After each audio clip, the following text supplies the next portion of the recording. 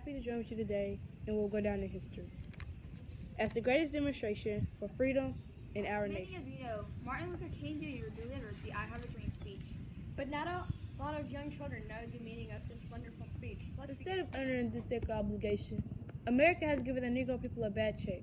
A check was had come back as insufficient funds. The speech was given prior to the March on Washington, a peaceful protest against inequality. Again, the I Have a Dream speech by referencing from the Emancipation Proclamation that was issued by President Lincoln to officially free slaves in the U.S. during the Civil War. King uses this reference to point out how African Americans are at that time not yet free from racism. Black men as well as white men would be guaranteed the unalienable rights, life, liberty, and the pursuit of happiness.